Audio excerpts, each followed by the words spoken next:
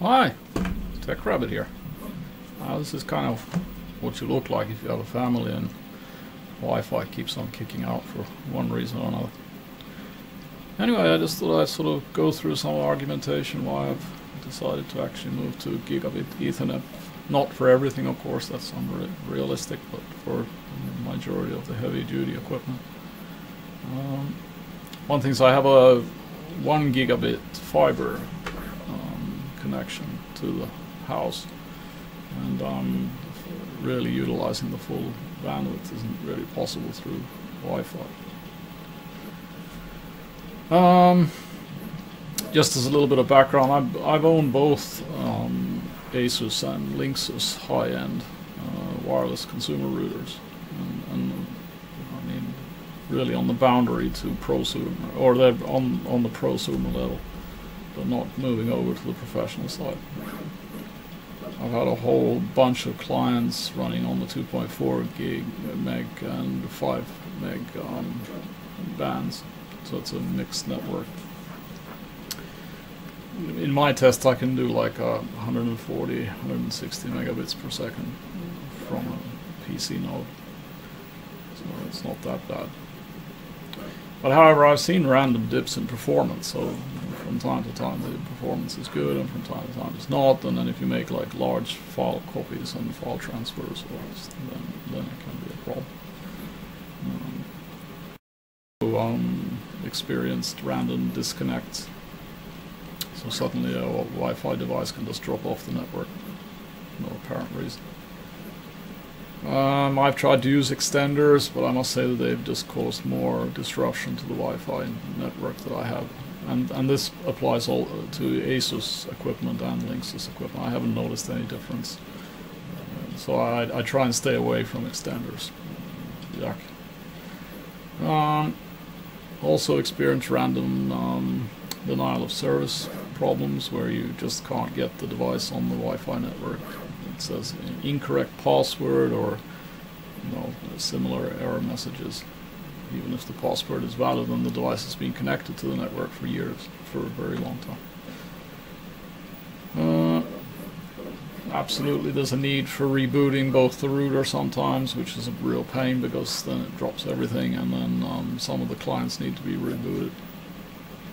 Also, reconnecting the clients to the Wi-Fi network is needed from time to time, even to the extent of actually completely removing the Wi-Fi settings and, and reconnecting like entering the password again.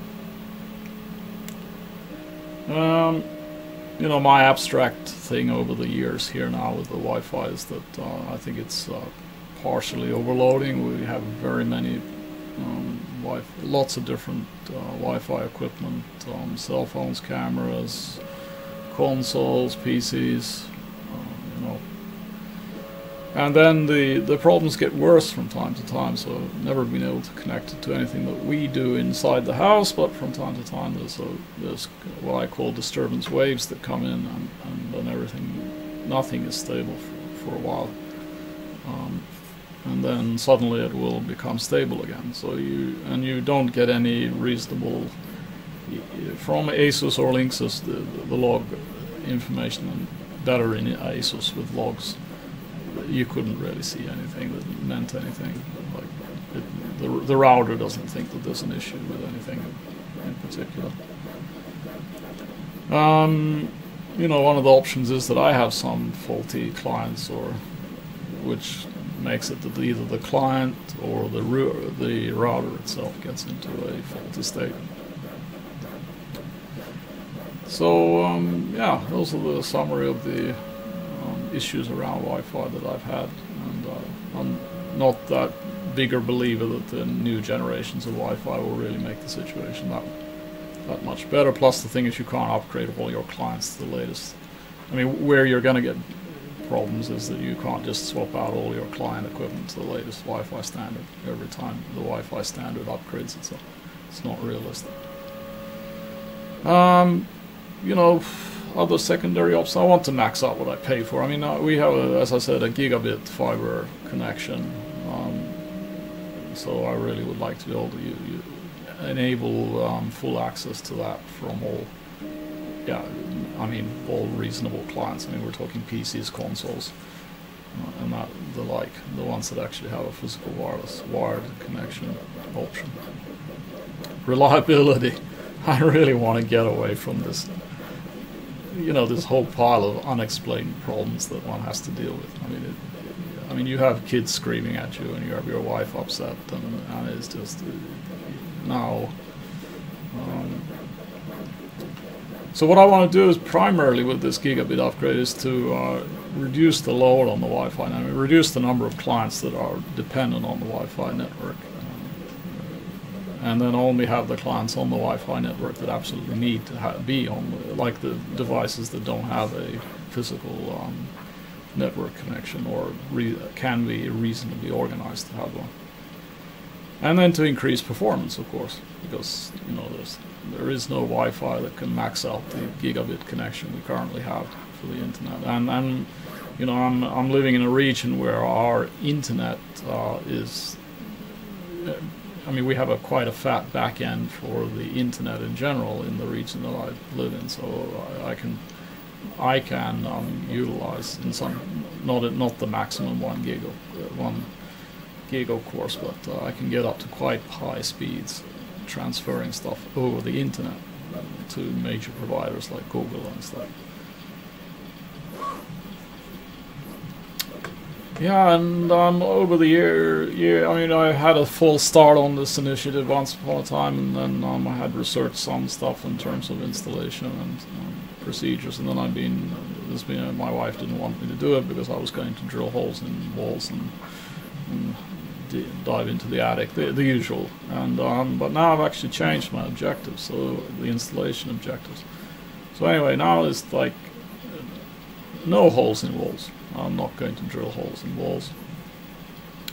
And I don't want to disrupt any existing installations, that's electrical or old cable networks or anything like that. So I don't want to um, be putting cables into the same piping or anything that, existing stuff runs.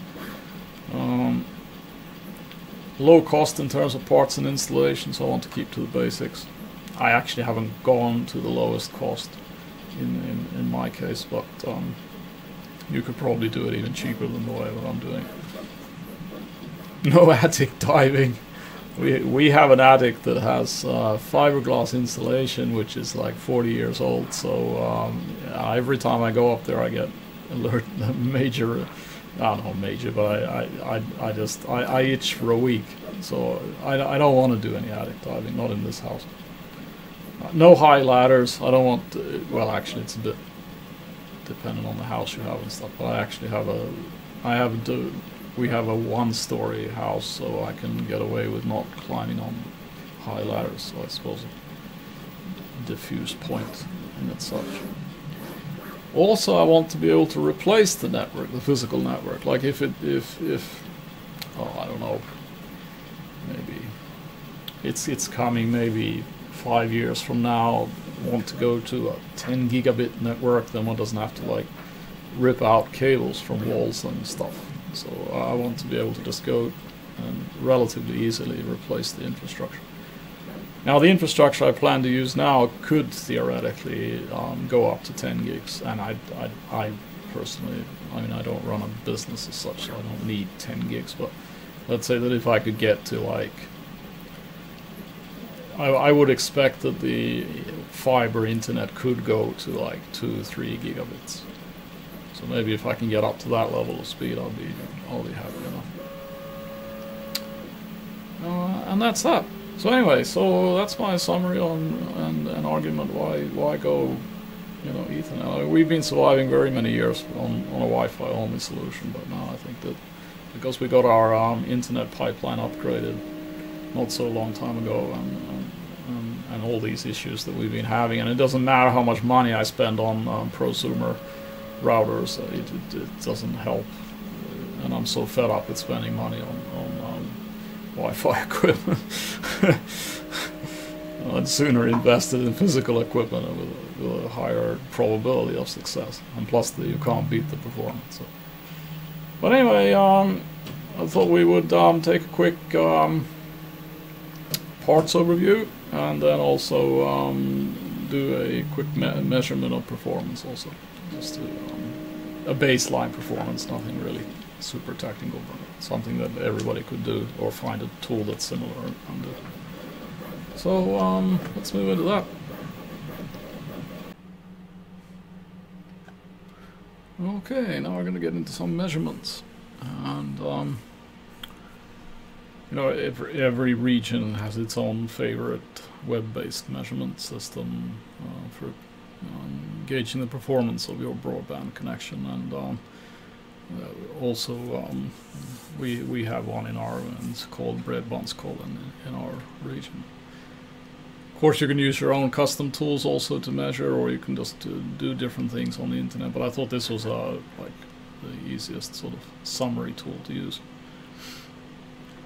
So let's try, and this is the measurement from my uh, main workstation over the Wi-Fi network.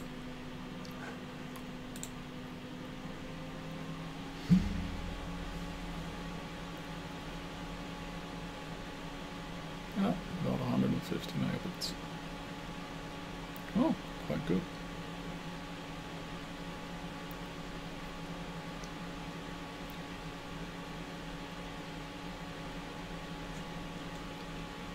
So that's um, and then if we say that we have, let's see what other options that we had for find. Well, that was the top rate, so that's going up to one gig. And then um, if you have this this result, and then you ask it to evaluate, um, then you see that it rates the connection as being really bad and suggests that you complain. But I mean, this is of course due to the Wi-Fi. Okay, so that's that one, and then we move on to um, the next measurement point.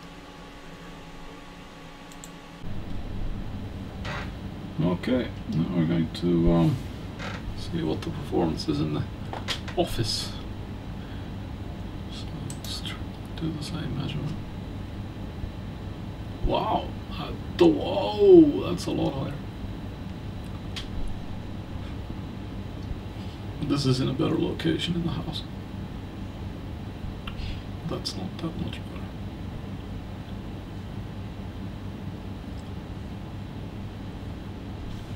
So, that's that one. Type of fiber.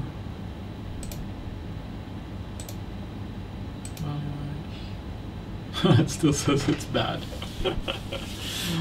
yeah, that's life. Okay, and move on to the next one. So, my son, what do you think about our Wi-Fi network? Shall I increase the lights just to interrogate you some more? Nej. No? What do you think? Does it work well? Wi-Fi network for gaming? Jag blir bortkopplad lite för Ja. ofta. Yeah. Can you say that in English? This is an English YouTube channel. Oh, okay, so this is for your YouTube channel. Yeah, yeah. Okay, I didn't know that. the lights are really strong. Uh, It's just focusing on the light. It's not answering the question. I think I Okay. increase the yeah, light. but uh, the Wi-Fi. Why are you increasing? Okay, thank you. But uh, yeah, I get disconnected a bit uh, too often. Think it'll be better with gigabit Ethernet? Yeah, I will say so. Yeah. Look, we need to measure the performance of the in- the Wi-Fi connection on your computer. Is that okay? Okay. Uh, should I just go and do something else? I will take. Okay, this is my son's gaming computer. As I said, the always thing gets a bit disconnected from time to time. So we're just gonna measure the same. It's very hard to film in here. it's not that much space. But anyway, let's hope you can see this. I wonder what kind of a result we're gonna get. Uh, pretty much the same as my workstation.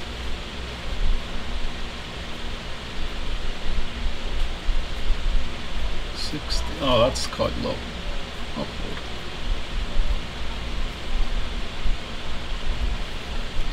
Ah, we won't bother with the comparing broadband. We know already that that's crap. So anyway, one more point, and that'll be the next one.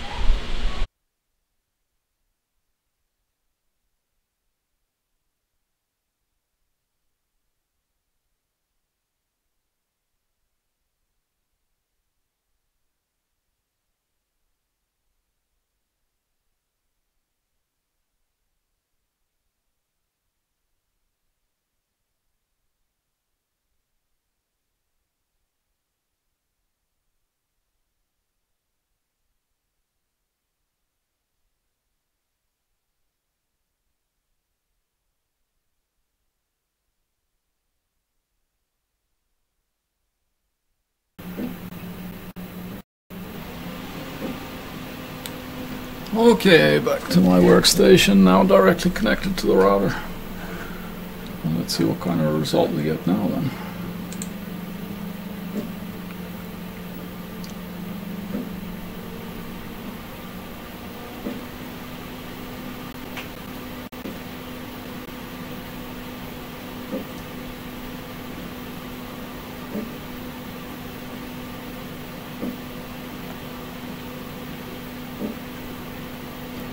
Okay, let's try and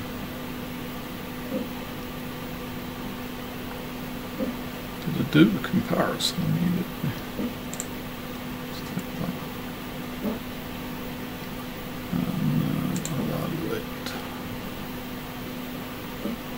Hmm, that's still bad. Oh, that's interesting. Oh, twice the speed. One gets on uh, wired LAN. Hmm. Now I've seen better figures than that actually from the um, broadband. I'm probably going to have to investigate, or actually probably going to have to try the measurement again later and see what we get. Oh, well, for now that can be the reference point, but it, it should be better than that, I- and I have seen it being much better than that. I haven't actually taken a measurement from the router for a while. Okay. So, welcome to my studio corner. Um, just going to have a little bit of talk about um, installation preparation parts. And um, the first thing I started with is to make a very sophisticated plan of how to sort of run the cables and stuff. Just to figure out approximately what cable lengths to use. Um, so we can cover the cables first. So what I'm doing is I'm going to go with prefabricated cables with the ends already processed. I mean, I know you can buy uh, like free cable and the ends to put on, but really getting them all crimped properly and everything is, I don't know, something I don't want to do with so many other wires that are related. And um, all the cables I'm taking a minimum uh, Cat 6 or Cat 6A, so that that'll be, yeah. I mean the the speed, how much uh, how much they can put down a cable increases all over the, by time. So I mean you can uh, basically I think that uh, when we're talking about my idea of like you know three gigs, yeah, should be able to this this cable should be able to handle. So anyway, I got um, there's going to be of course a whole pile of cables, but um, I just thought I'd go through the examples. So you need like inside cables for inside use only of different lengths based on the analysis you make. And then also for the uh, aesthetical things, then you need to make sure that um, what, or uh, confirm and ask what color should they be. I my wife prefers white if there's going to be cables hanging around. And then um, for outside use,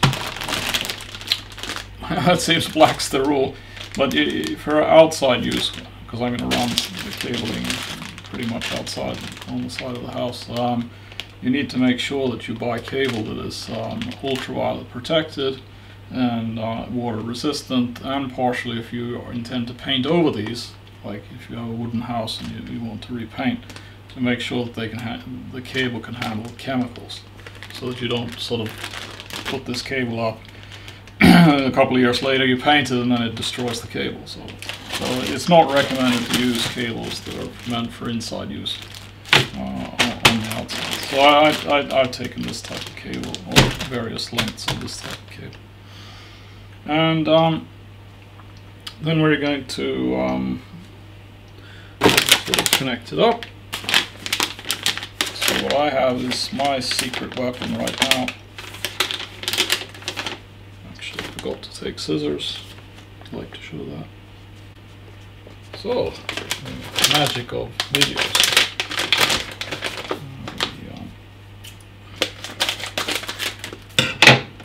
So I got a bunch of um, through the window cables, so they're like flat like that and very flexible. And they have an Ethernet on both sides. And then it comes with uh, self-gluing double-sided tape or screws, or you can use both.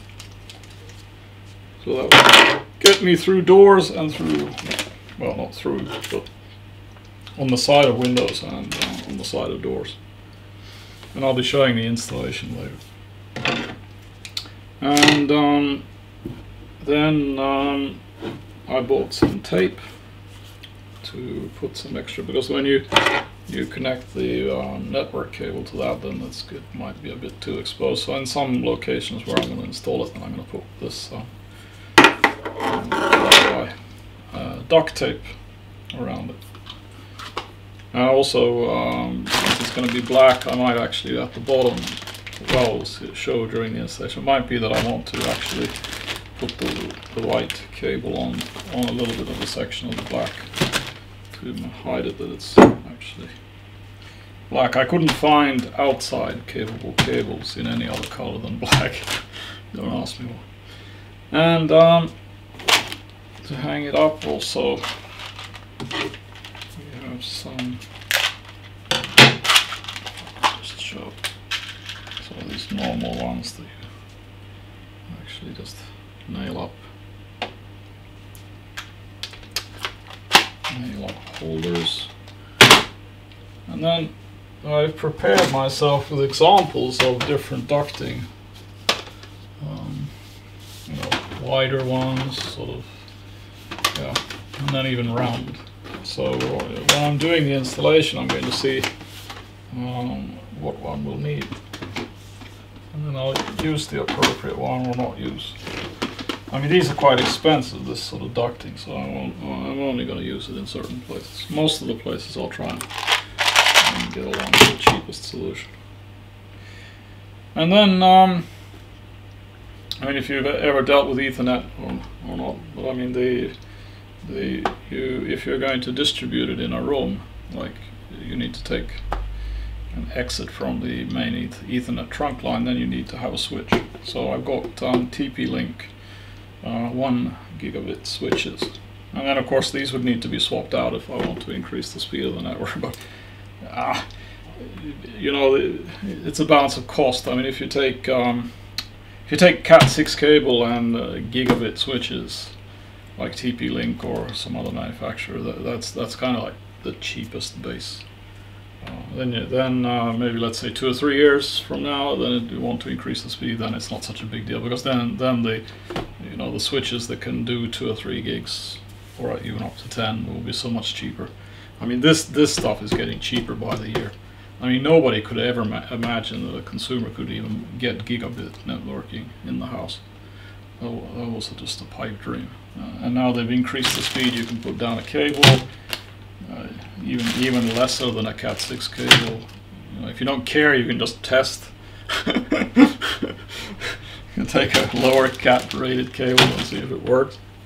People have done that, and it works fine in some cases, as long as the length. Uh, because I mean, basically, when you define Cat6, it, it means that it meets certain minimum requirements on on a specific level of communication. It doesn't mean that the other Cat standards won't work.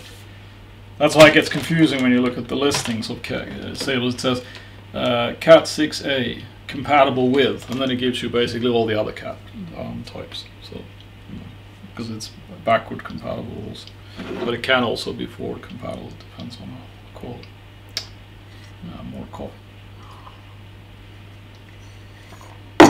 Yeah, and um, these are good base switches. I've used them before, and um, so when we enter a room, then you um, come in with the Ethernet cable connected in there, and then you leave to continue the the, um, the trunk line, and then you can take out for the devices in the room.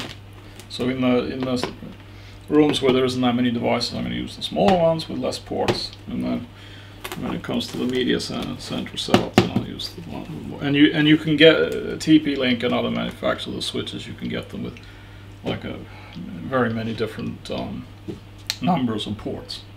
So it's it's um, you, you, so that's the importance to actually pre-analyze like what is your situation in, in your specific setup and what.